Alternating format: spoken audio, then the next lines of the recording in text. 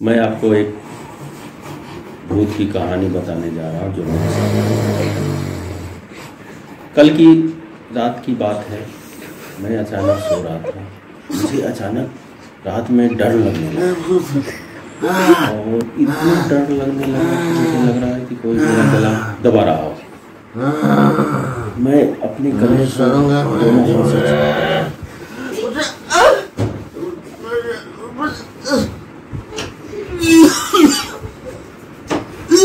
보자, 보자, 보자, 보자, 보자, 보자, 보자, 보자, 보자, 보자.